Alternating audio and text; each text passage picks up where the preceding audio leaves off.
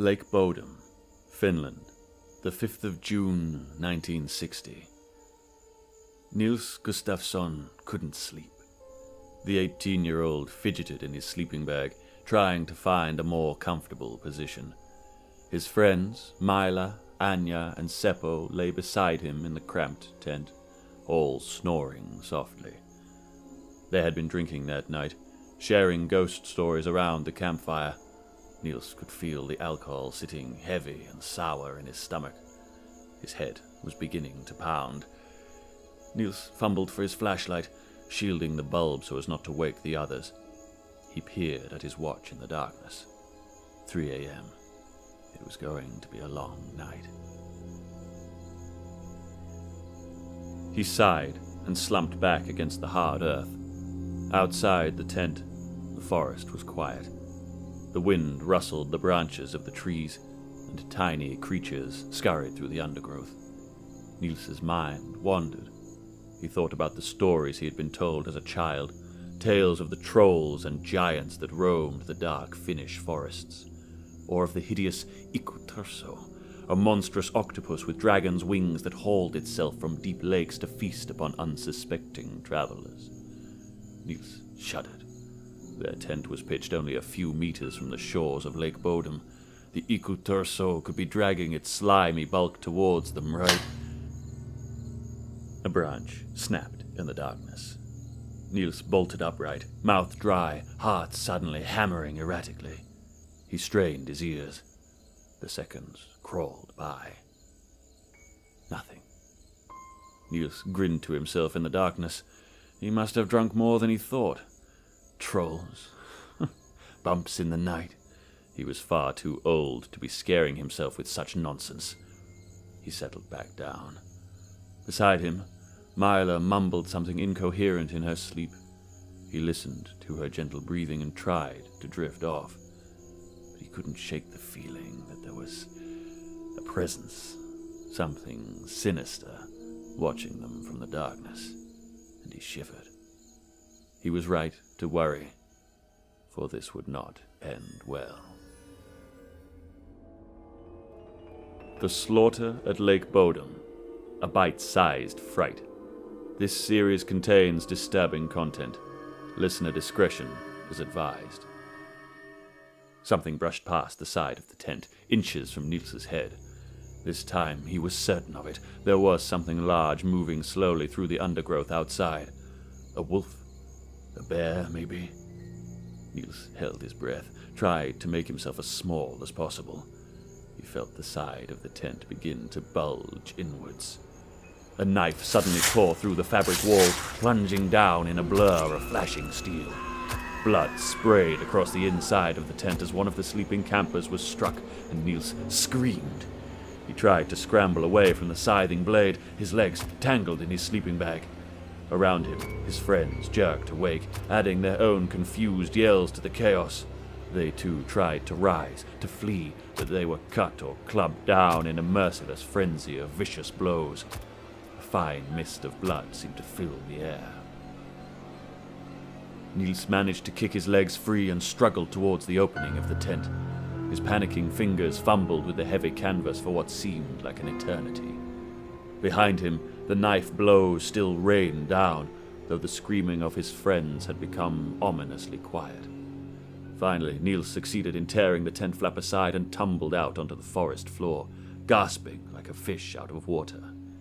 He was slick, with warm blood, drenched in it, though whether it was his own or that of his friends, he could not tell.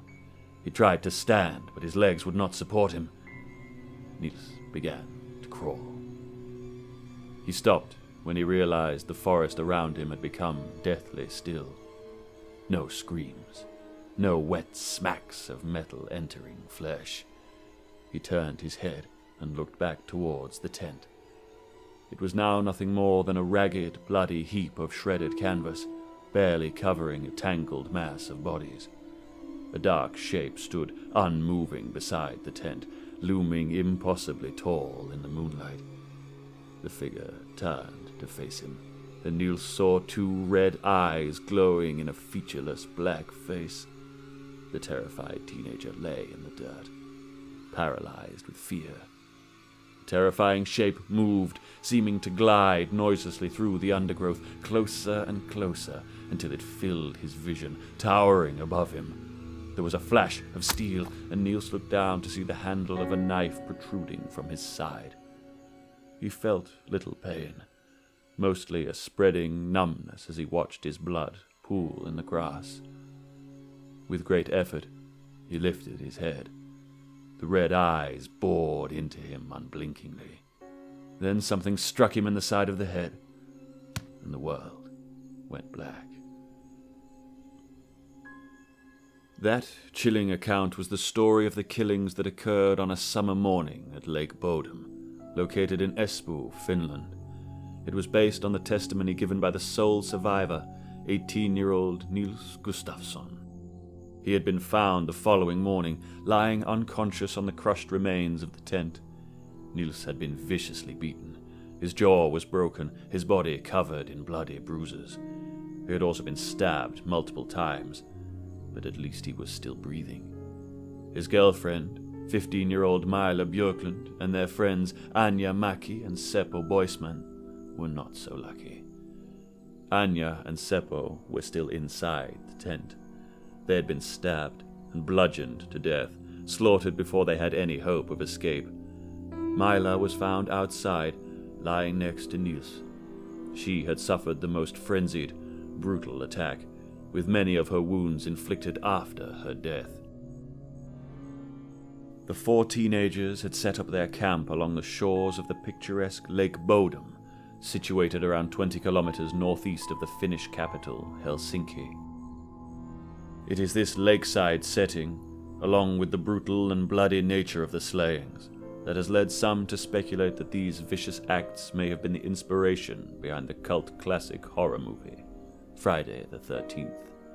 In the film, which was released almost 20 years to the day of the Lake Bodom killings, a group of teenagers are terrorized and savagely murdered, one by one, by a mysterious, knife wielding maniac. Though the filmmakers deny taking any influence from the real murders, a study of images of Lake Bodom will reveal undeniable similarities between it and the fictional setting of the film, the now infamous Camp Crystal Lake. The case has been frequently referred to as the real Friday the 13th. No one has ever been convicted for the killings at Lake Bodom. The case has remained unsolved for over 60 years. However, this does not mean that there weren't any suspects. When Nils Gustafsson was interviewed by the police, he claimed he could remember but little of what happened on that terrible night. Everything was a blurred, bloody haze in his memory, but he did provide a description of the killer. Nils spoke of a tall, black apparition with red eyes that burned like coals in the darkness. Before long, locals began to whisper about the Grim Reaper himself having stolen away those young lives. There were other, less supernatural suspects. Local teenager Pentti Soininen was a known criminal. He had a list of convictions including theft, assault, and robbery, and also had apparent psychopathic tendencies. He reportedly confessed to the brutal slayings whilst in prison, providing police with rambling, cryptic answers when questioned further. His confession was dismissed as jailhouse bragging. Soininen hanged himself in prison in 1969. He would have been 15 years old at the time the murders were committed. The majority of public suspicion fell on Hans Assmann, a German immigrant who lived a few miles from Lake Bodom. He was rumored to have been a guard at the Auschwitz concentration camp during World War II and an alleged spy for the KGB, the notorious Soviet secret police. On the day after the tragedy at the lakeside had occurred, Assmann walked into a Helsinki hospital, looking disheveled with blackened fingernails and clothes stained with what appeared to be blood. His behavior seemed odd. He acted nervously and was aggressive towards hospital staff. He also reportedly shaved off his long blonde hair after rumors began to circulate that a mysterious blonde man had been spotted leaving the crime scene.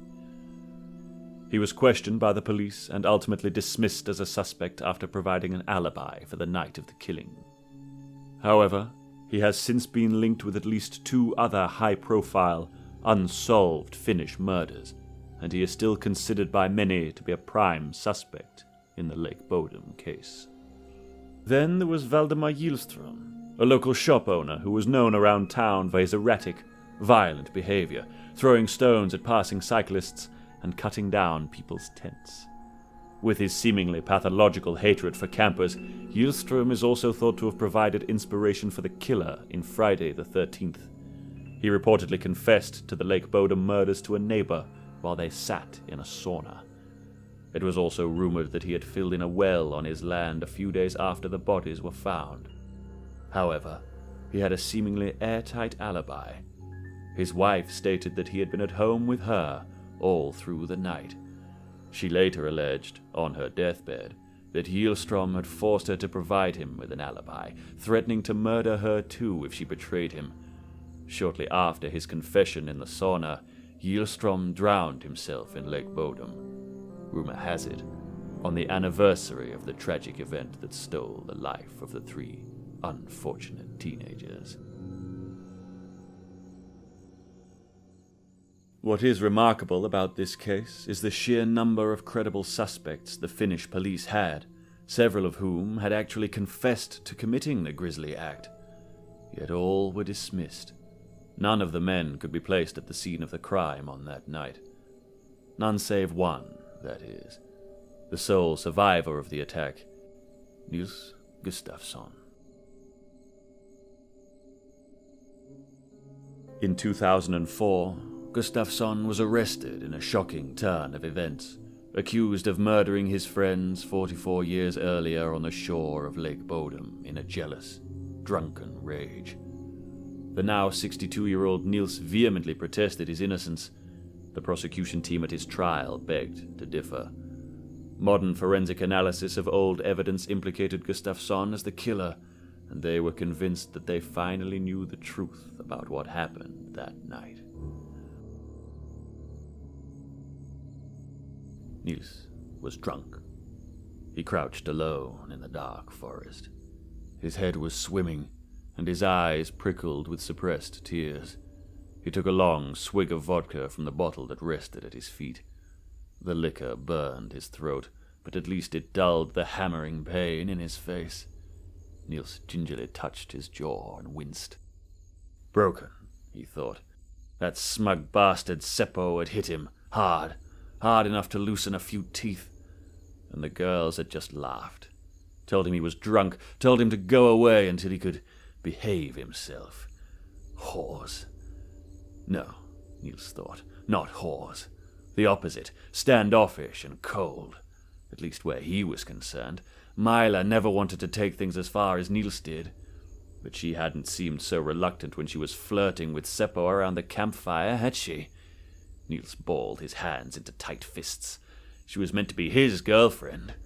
So he had launched himself at Seppo, and Seppo had knocked him down into the dirt. And now he was here, alone in the woods, while Anya and Mila and Seppo were back at the tent doing. doing what? He rose to his feet. Rage and vodka swirled together, hot in his stomach. Whatever they were up to, he wouldn't stand for it. He tossed the bottle into the trees and lurched off into the darkness. Nils stumbled into the campsite. It was quiet, but he thought he could hear giggling coming from inside the tent. Another hot wave of anger crashed through his body. They were probably laughing about him in there and touching each other. He spotted the tent peg mallet lying in the grass and bent to pick it up. The weight felt good in his clenched fist. After a moment, he tugged the hunting knife from his belt. He crept forward until he was right up against one of the tent walls. His hand seemed to suddenly move with a purpose all of its own, plunging the knife down. There was an awful scream. The blade stuck fast in clinging, wet flesh. Nils wrenched it free and then stabbed down again and again and again and again. Someone tried to rise inside the tent and he swung the mallet, clubbing them back down. Blood soaked the canvas walls, spattering Nils's hands and face and clothes. There was blood in his eyes. He could no longer see clearly, but he kept swinging and stabbing, adding his own incoherent yells to the screams of his treacherous friends. When the bodies under the canvas finally stopped twitching, Nils took a lurching step backwards. The rage inside him was still burning, blinding, crying out for more. He tore a few bloody shreds of the tent aside until he found Myla, and then dragged her corpse out into the moonlight. Her sightless eyes seemed to glare at him accusingly. He couldn't stand it. He raised the knife high again, ready to rip and tear and twist, to punish her over and over and over. Nils stood back, surveying the carnage he had brought about. The rage had subsided, leaving behind a hollow exhaustion. But he wasn't done yet. There were still a few things Nils needed to take care of. He turned and slowly wandered a few hundred yards into the dark forest. Here he carefully removed his blood soaked shoes and hid them in the undergrowth. He stumbled back to camp barefoot and stood in the ragged remains of the tent. His friend's blood was cold between his toes. Nils looked down at the mallet he still clutched in his hand. It was spattered with gore and matted hair. He smashed himself in the side of the skull with it, reeling, almost losing consciousness. He struck himself again, and bright stars popped and flashed behind his eyelids. He repeatedly plunged the knife in his other hand into his own side, his arms, and his chest. The wounds were not deep, but his blood flowed freely, and Nils felt consciousness begin to slip away. Summoning the last of his strength, he turned and hurled his weapons, one after the other, into the dark waters of Lake Bodom. They disappeared immediately, swallowed up with barely a ripple. Nils staggered and collapsed next to Myla on top of the crushed tent. She was unmoving, ghostly pale. Nils felt nothing. He rolled onto his back. The sky overhead was beginning to brighten with the first light of dawn. Nils closed his eyes to sleep. The prosecution's case centered around the fact that whoever had carried out the murders had been wearing Nils Gustafsson's shoes at the time. They had been found a few hundred meters from the crime scene, covered in blood determined to belong to Anya, Myla, and Seppo. But no trace of Nils's blood was found. They concluded that Nils must have been injured at a different point in time than the other three, and that his wounds, which were noticeably less severe, were self inflicted. He also matched the description of a man who had been observed near the crime scene by two bird watchers a few hours before the bodies were discovered. Not everyone was convinced of Nils Gustafsson's guilt, however. In 2005, he was acquitted of all charges and awarded almost 45,000 euros as compensation for his mental suffering during his long time in custody. In spite of this, there are still many in Finland who believe Nils is the most likely suspect in these gruesome slayings. Who do you think was responsible for the slaughter at Lake Bodom? Was it the camper hating psychopath, or the mysterious KGB spy already linked to so many other savage crimes? Perhaps it was the jealous boyfriend driven to kill in a drunken rage. Or maybe the locals were right and it was the Grim Reaper himself who had stalked the shores of Lake Bodom that night, eager for innocent souls. It seems as though we will never know for certain. We would love to hear your own theories and ideas about this mysterious case. If you have enjoyed this episode, please follow us on Twitter and Instagram at Pixel Elixir, and subscribe at bitesizedfrights.com to make sure that you never miss any of our terrifying tales. This has been a Pixel Elixir production, narrated by Chris Kay. Thank you for listening. Until the next bite, my friends.